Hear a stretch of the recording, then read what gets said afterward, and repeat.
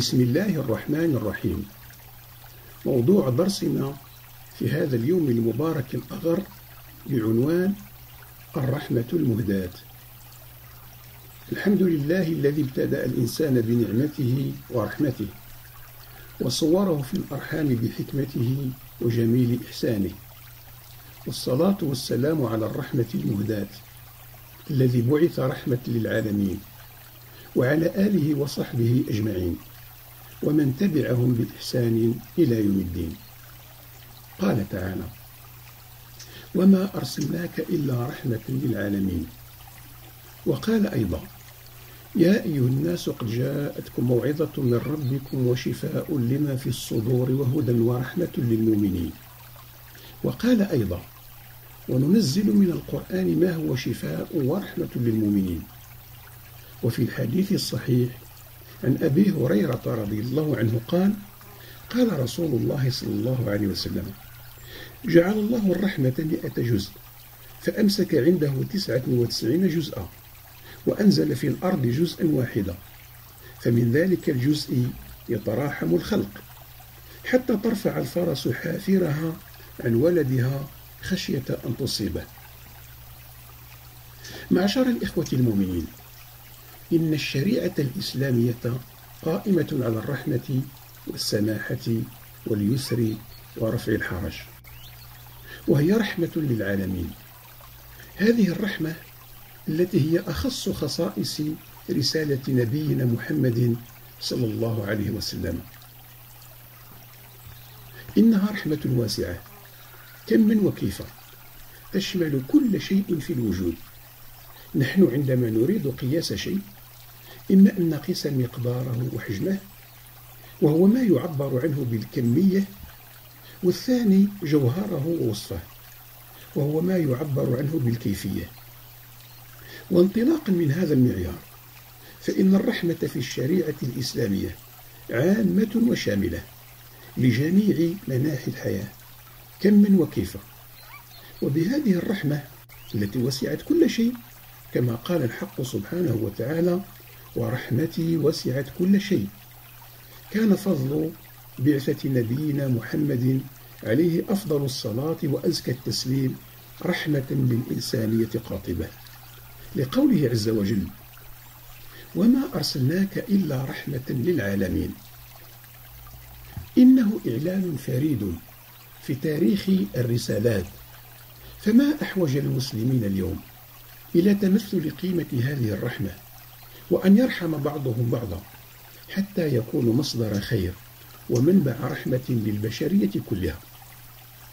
إن الأساس الإيماني الذي قامت عليه الرحمة في الإسلام هو قول نبينا محمد عليه أفضل الصلاة وأزكى التسليم في الحديث الصحيح جعل الله الرحمة مئة جزء فأمسك عنده تسعة وتسعين جزءا وأنزل في الأرض جزءا واحدا فمن ذلك الجزء يتراحم الخلق حتى ترفع الفرس حافرها عن ولدها خشية أن تصيبه.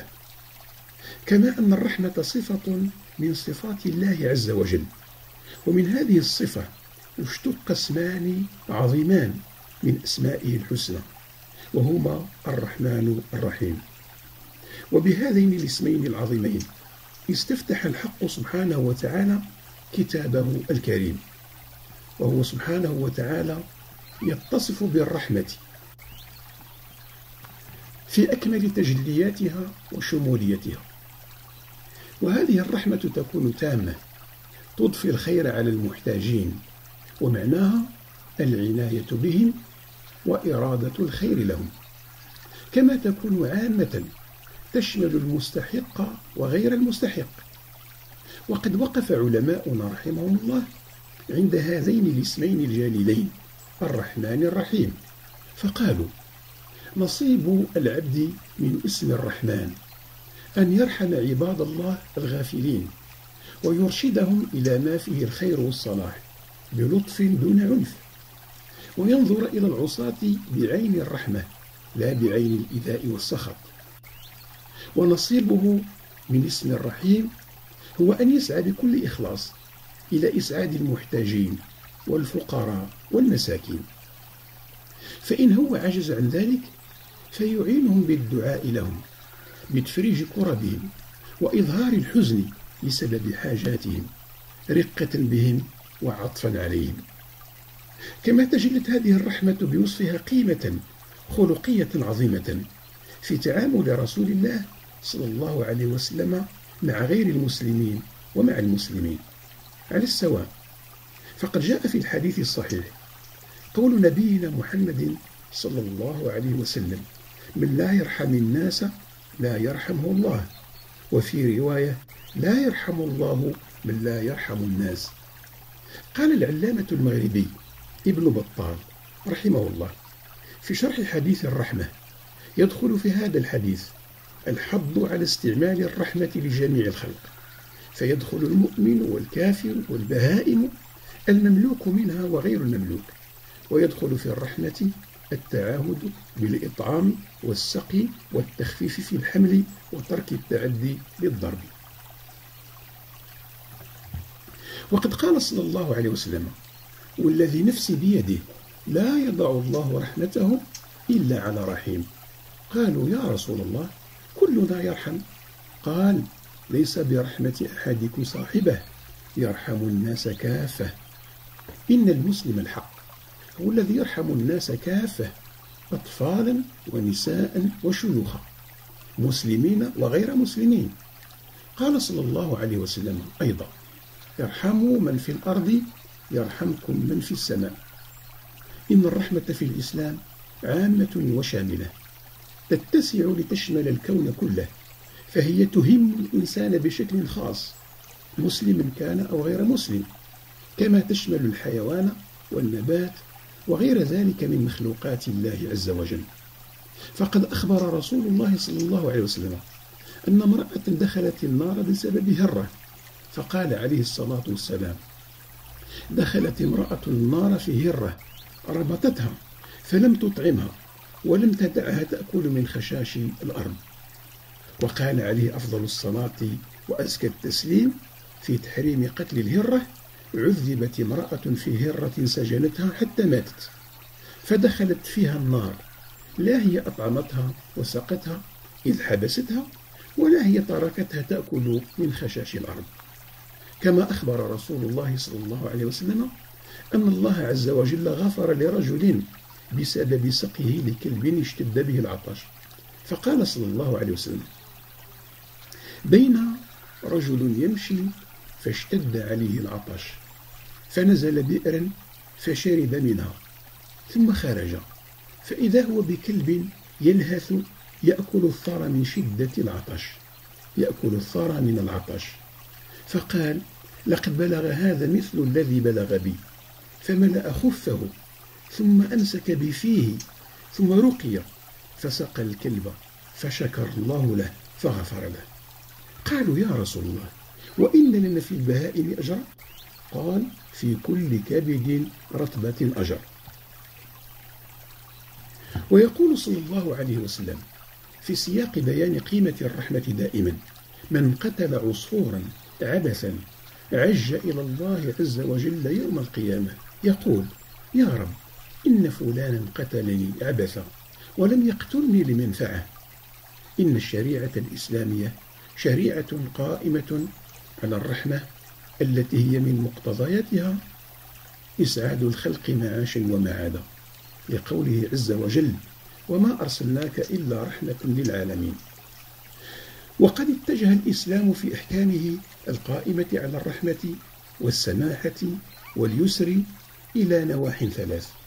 هي أساس سعادة الإنسان المسلم. الناحية الأولى تهذيب الفرد ليكون مصدر خير للمجتمع ولا يكون منه شر لأحد من الناس. والعبادات كلها جاءت لتهذيب النفوس وتوثيق العلاقات الاجتماعية وهي تهدف إلى تطهير النفوس من الأمراض وأضران الحقد. الناحية الثانية إقامة العدل مع المسلمين ومع غير المسلمين لقوله عز وجل يا أيها الذين آمنوا كونوا قوامين لله شهداء بالقسط ولا يجرمنكم شنآن قوم على ألا تعدلوا. اعدلوا هو أقرب للتقوى واتقوا الله إن الله خبير بما تعملون. ويقول سبحانه وتعالى يا أيها الناس إنا خلقناكم من ذكر وأنثى وجعلناكم شعوبا وقبائل لتعارفوا. إن أكرمكم عند الله أتقاكم إن الله عليم خبير. وفي إطار إقرار العدالة الاجتماعية. فقد أوجب الإسلام تكريم الإنسان لذات الإنسانية. قال تعالى ولقد كرمنا بني آدم وحملناهم في البر والبحر ورزقناهم من الطيبات وفضلناهم على كثير ممن خلقنا تفضيلا. الناحية الثالثة تحقيق المصلحة التي هي سبب سعادة الإنسان معاشا ومعادة وهذه المصلحة التي أقرها الإسلام ترجع إلى الحفاظ على أمور خمسة. هي الإطار العام لضمان الحياة الكريمة للإنسان المسلم وهي حفظ الدين وحفظ النفس وحفظ العقل وحفظ المال وحفظ النسل. وهي التي يسميها علماؤنا رحمهم الله بالكليات الخمس أو الضروريات الخمس. وهي التي تحقق للمسلم حياة كريمة وسعادة في الدنيا والآخرة. وصلى الله على سيدنا محمد نبيه الأمين وعلى آله وصحبه أجمعين ومن تبعهم بإحسان إلى يوم الدين.